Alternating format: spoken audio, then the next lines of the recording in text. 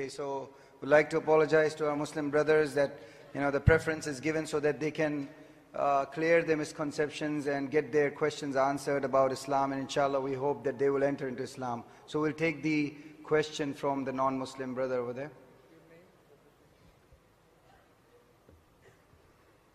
Good evening, ladies and gentlemen. My name is Protus. I'm a security officer with Emerald Services. Actually, I want to clear some doubts I have about uh, what the Muslims uh, tell tells us about the Quran. Like when you look into the Bible, right from the books of Genesis right down to Malachi, it shows, it conveys information that God have been revealing through different prophets. But now, when we come to the Quran, the Muslim make us to understand that the Quran is a literal work of God. So I just want to be very clear with that. That is all.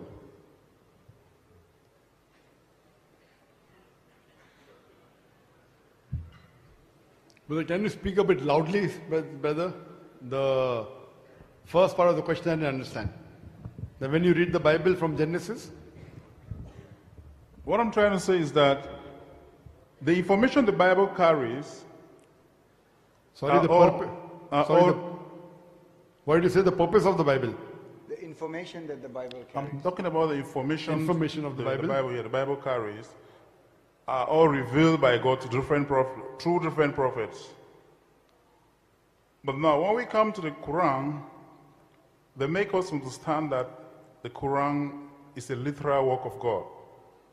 So I just want to understand why God should keep the Quran so special that He had to write it by Himself. The brother asked a very good question.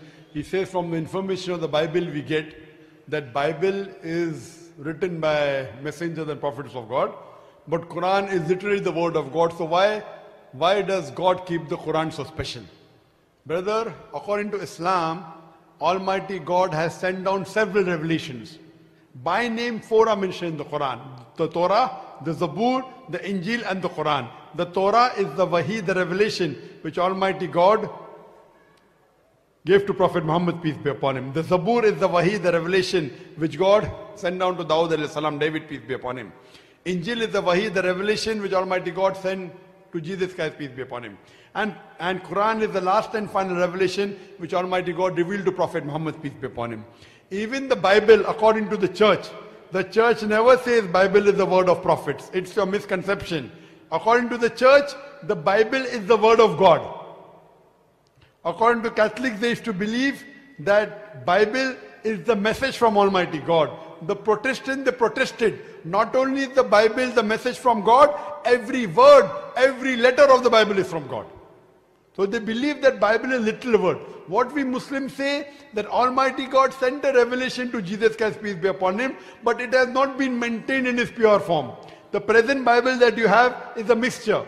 It does contain word of God, it does contain the word of the messengers, it does contain history, it does contain also pornography, I'm sorry to say.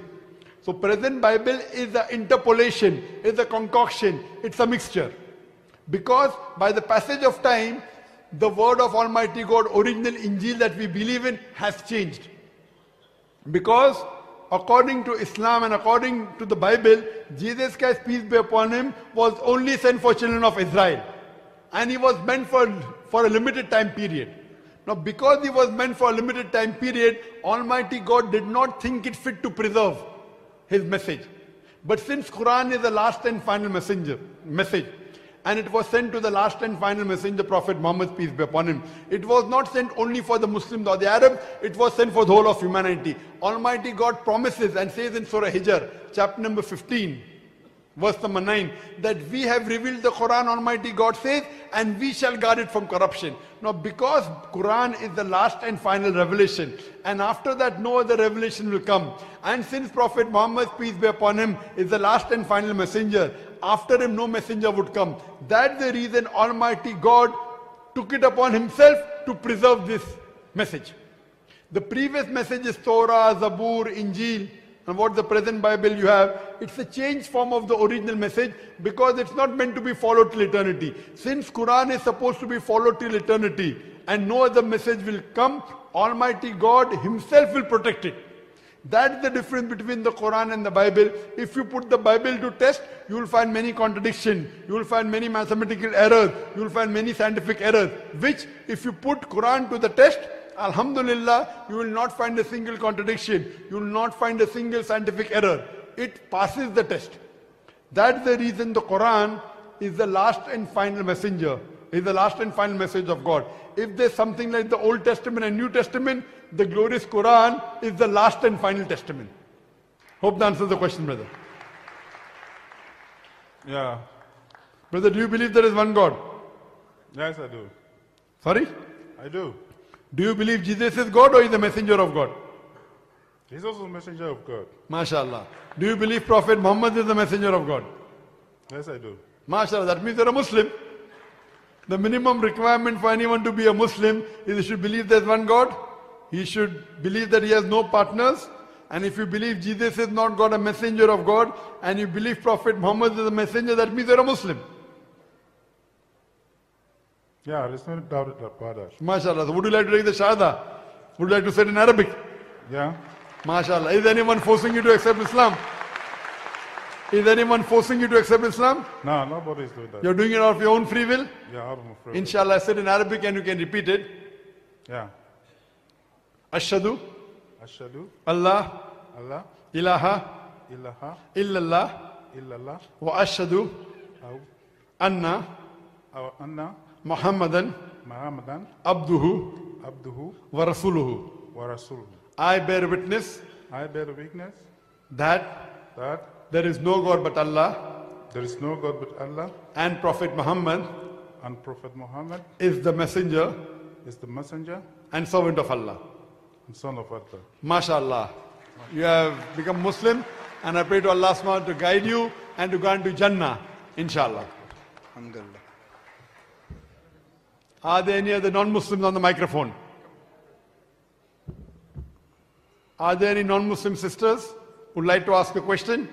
A non-Muslim sister has written down a question to Oleh karena itu, Lampu Islam akan menjelaskan mengenai amalan-amalan ringan yang dapat kita lakukan sambil kita mengerjakan yang lain. Yang dimaksud ringan di sini adalah kita bisa melakukannya hanya dalam waktu beberapa menit saja, atau mungkin dalam beberapa detik juga bisa. Dan yang lebih menguntungkannya lagi adalah kita bisa melakukan zikir-zikir ini di mana saja, dan tidak harus dalam kondisi berwudu.